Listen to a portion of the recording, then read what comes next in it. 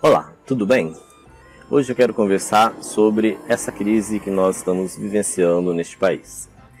E exatamente falar sobre como nossa mente trata esse assunto. Eu tenho visto as pessoas falando constantemente: quando vamos sair dessa crise? Nós precisamos sair dessa crise. Ah, eu estou entrando num buraco, eu preciso sair desse buraco. Acontece que toda vez que nós dissemos para nós mesmos, eu preciso sair de alguma coisa, nós estamos procurando uma rota de fuga. Nós estamos procurando um caminho para fugir do problema. Sair da crise é fugir do problema. Mas nós temos que enfrentar o problema, seja as nossas crises pessoais ou a crise de nosso país, nós temos que mudar a nossa postura mental enfrentando o problema. A PNL nos ensina que a solução dos problemas ela pode ser feita através de uma mudança no nosso mindset, ou seja, a forma como nós encaramos, como nós entendemos as coisas. Como mudar o nosso mindset? Usando a nossa forma de falar, a nossa linguística.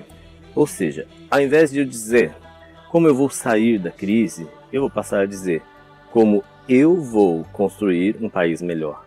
Como eu vou realizar as coisas de uma forma que obtenha resultados melhores.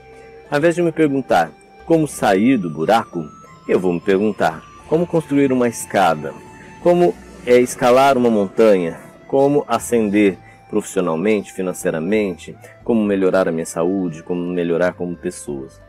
Se pararmos de nos focar nos problemas que estamos tendo e começarmos a focar nos recursos que temos, mesmo que no primeiro momento eles nos pareçam ser escassos, à medida que nosso cérebro se acostuma a procurar recursos, a procurar meios, a procurar respostas, ele vai parar de procurar os problemas e vai focar nos resultados e nos recursos que nós temos para obter resultados.